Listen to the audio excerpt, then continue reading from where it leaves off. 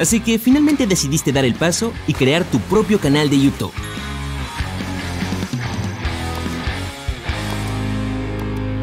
Lo primero que tienes que hacer es abrir YouTube y dirigirte a la parte superior derecha. Haz clic en Iniciar sesión. Si ya tienes una cuenta de Google o una dirección de correo electrónico de Gmail, entonces será genial. Solo pon tus datos.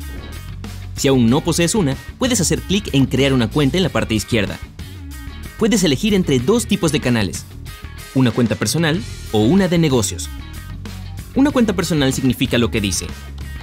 Solo podrás acceder a ella con un nombre de usuario y una contraseña. El nombre del canal estará restringido a tu nombre de cuenta.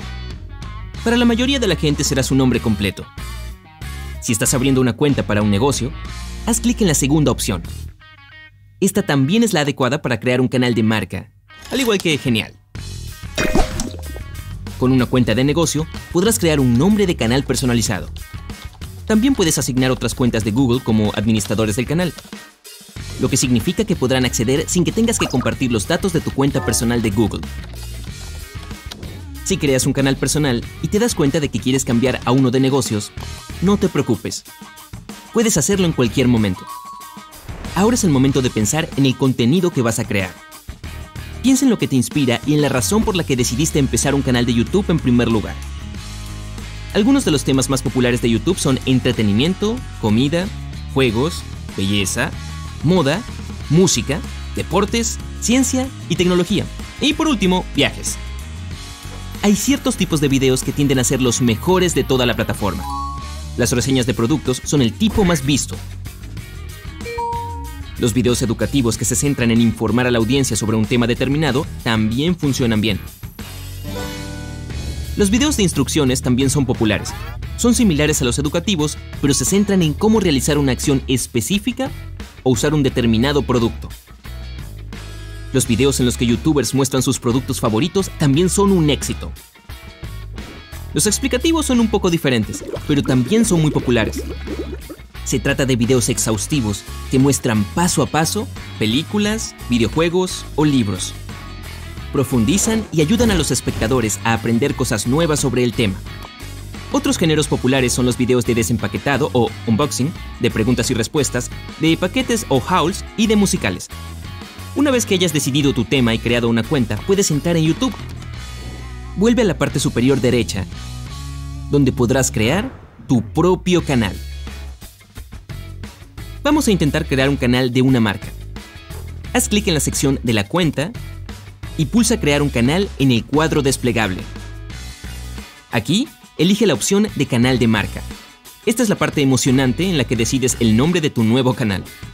Es una buena idea que el nombre de este sea acorde con el tipo de videos que vas a publicar. Si haces videos de juegos, incorpóralo al nombre de tu canal. O si te centras en un juego específico, intenta añadirlo al nombre. Y lo mismo ocurre si haces videoblogs, reseñas o videos informativos. Intenta hacer una lista de todas las cosas que se relacionan con tu canal.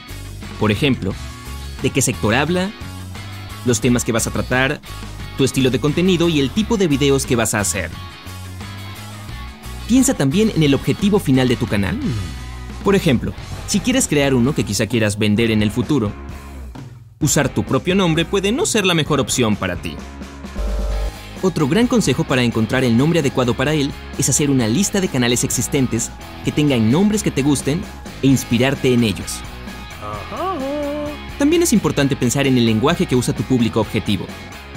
Un canal educativo puede usar un lenguaje más formal, mientras que uno dirigido a los más jóvenes puede incluir jerga.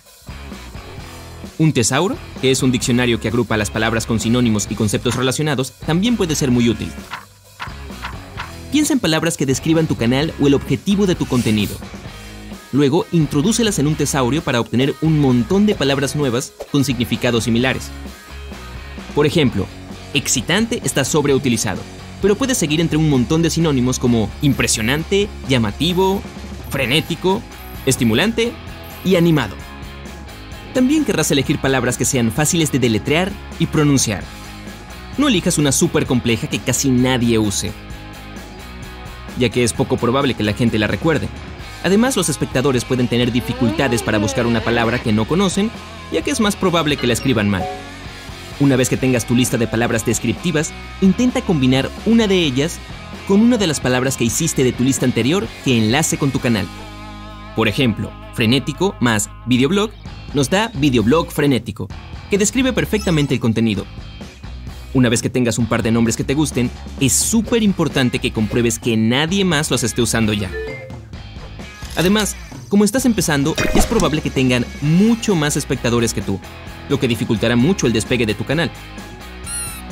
YouTube es el segundo motor de búsqueda más popular del mundo. Así que tener un nombre que sea similar a un montón de otros solo significa que no vas a aparecer en las búsquedas y que casi nadie verá tus videos. Para revisarlo, ve a namecheck.com, escribe el nombre del canal que te guste y lo buscará en Google, así como en las redes sociales. Siempre puedes cambiar el nombre de tu canal, así que no te estreses si crees que te has equivocado después de un par de días. Una vez que hayas encontrado tu nombre y lo hayas introducido en la sección Crear un canal de antes, se creará el tuyo. El siguiente paso es añadir una foto de perfil. Al igual que el nombre, quieres que sea llamativa y que destaque. Y tiene que estar relacionada con tu canal. Después de eso es el momento de la descripción de tu canal. Aquí debes añadir unas cuantas frases o un párrafo contundente que diga quién eres, el tipo de contenido que creas y lo que los espectadores pueden esperar de tu canal. Echa un vistazo a la descripción de Genial si necesitas un poco de inspiración. Puedes encontrarla en la sección Acerca de del canal. Añadir palabras clave y etiquetas en la descripción de tu canal también puede ayudarte a mejorar tu posición en las búsquedas. Por ejemplo, si haces videoblogs, intenta añadir alguna de las siguientes etiquetas. Agregar dos o tres de estas etiquetas a tu descripción puede ayudar mucho a la clasificación de tu canal. Una vez que tengas la descripción perfecta, es el momento de añadir algunos enlaces que puedas tener a otros sitios.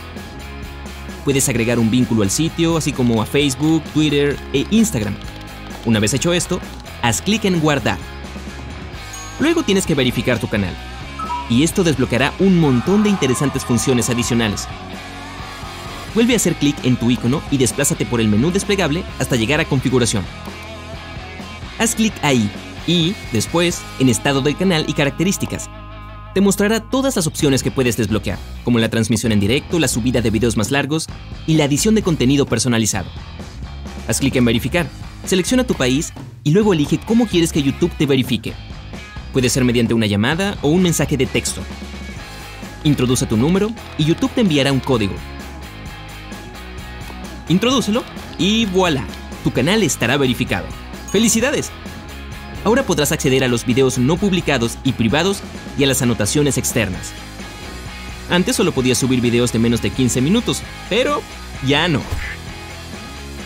Y también podrás crear miniaturas personalizadas, lo que es fundamental para que la gente haga clic en tus videos. Hablaremos de eso más adelante en nuestra serie. Por ahora, eso es todo en el primer video de nuestra nueva serie.